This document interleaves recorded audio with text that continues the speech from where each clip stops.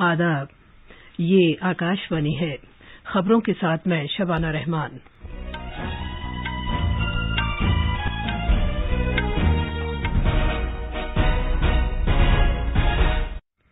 वज़ीर अजम नरेंद्र मोदी ने कहा है कि 2022 मुल्क में स्टार्टअप माहौलियाती निज़ाम के कई इम्कान लेकर आया है। मुल्क भर में अब तक ओमिक्रोन के छह हज़ार इकतालीस मामलात का पता चला है। मुल्क गिर सतह पर जारी टीकाकारी मुहिम के तहत अब तक एक सौ छप्पन करोड़ दो लाख से ज़्यादा कोविड से बचाव के टीके लगाए जा चुके हैं। सेहतयाबी की शरह, चौरानवे आशारिया आठ तीन फ़ीसद हो गई है। पार्लियामेंट का बजट इजलास इस महीने की इकतीस तारीख से शुरू होगा। आज फौज का दिन मनाया जा रहा है। इस मौके पर सदर जमहूरिया, नायब सदर जमहूरिया और वज़ीर आज़म ने फौज के अमले और आजमुदाकार फौजियों को मुबारकबाद दी है।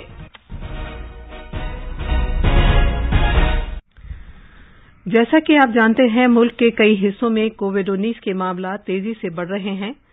आपसे अपील है कि चौकस रहें, दोनों टीके लगवाएँ और 15 से 18 साल तक की उम्र के बच्चों समेत दीगर अफराद को भी टीके लगवाने में उनकी मदद करें। साथ ही कोरोना की नई किस्म भी तशवीश का बायस है। इस तनाजुर में गफलत न बरतें और ये तीन आसान तरीके अपनाएँ। चेहरे पर मास्क लगाएँ, दो गज की दूरी बरकरार रखें और हाथ और चेहरा साफ़ रखने पर खास ध्यान दें। अब खबरें तफसील से। वज़ीर अजम नरेंद्र मोदी ने कहा है कि 2022 मुल्क में स्टार्टअप माहौलियाती निज़ाम के कई इम्कान लेकर आया है।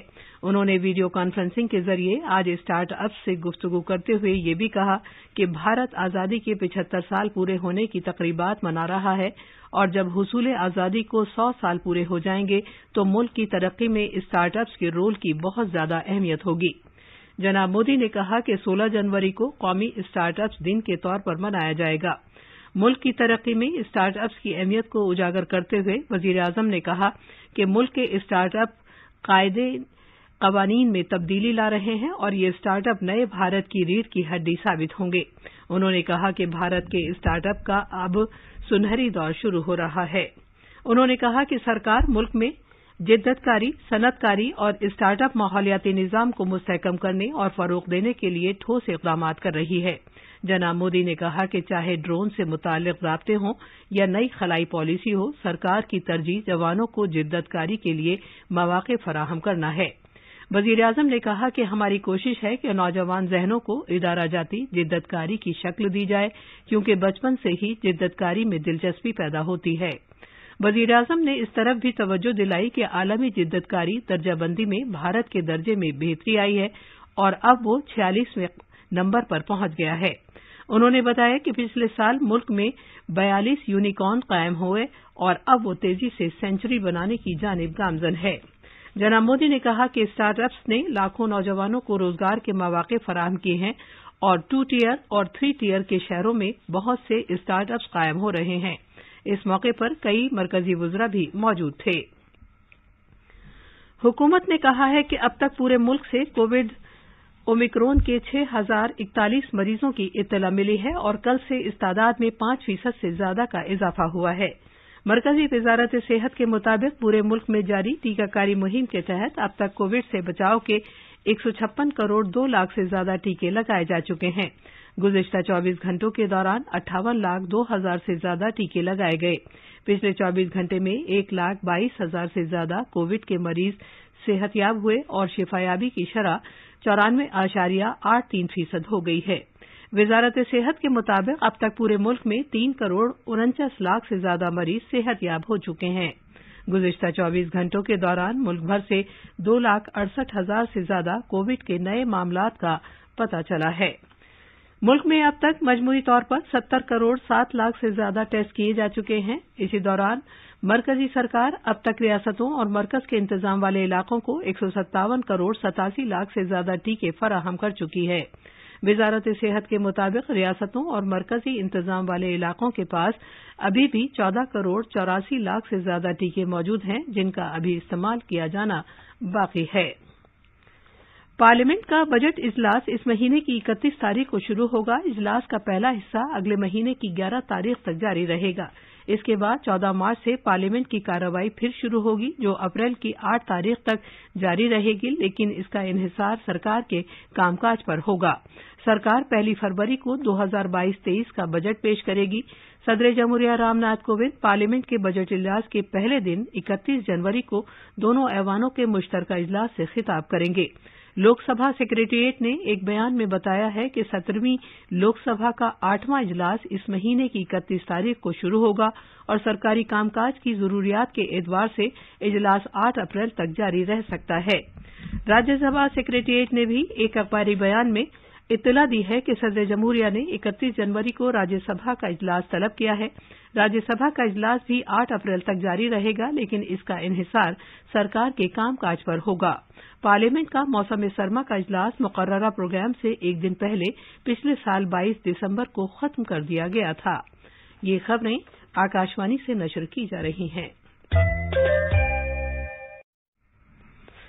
आज फौज का दिन है। 15 जनवरी उन्नीस सौ उनचास को आखिरी बरतानवी commander in chief general Francis Bucher से भारतीय फौज के पहले कमांडर इन चीफ के तौर पर field marshal K M Cariappa के ओहदा संभालने को तस्लीम किए जाने के लिए 15 जनवरी को हर साल ये दिन मनाया जाता है।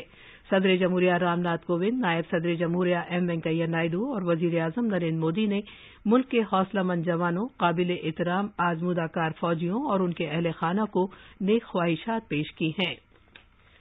यौम जमहूरिया तकरीबात अब 24 जनवरी की बजाय 23 जनवरी को हर साल शुरू हुआ करेंगी। भारतीय हुकूमत के जराये के मुताबिक अजीम मुजाहिद आज़ादी सुभाष चंद्र बोस के यौम पैदाइश को शामिल करने के लिए ये कदम उठाया गया है।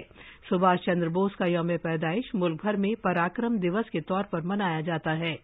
ये मोदी हुकूमत का मुल्क की मालामाल तारीख और सकाफत के अहम पहलुओं पर तवज्जो मरकूज किए जाने का एक हिस्सा है।